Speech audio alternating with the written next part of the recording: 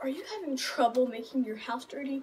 Well, now you can with the brand new Florox Infecting Wipes. They put the infect in infecting.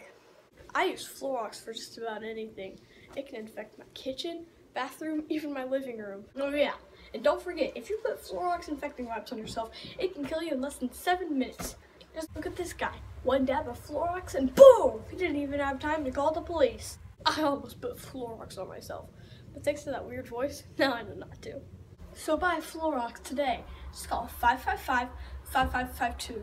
That's 555-5552. Must be four years or older to call.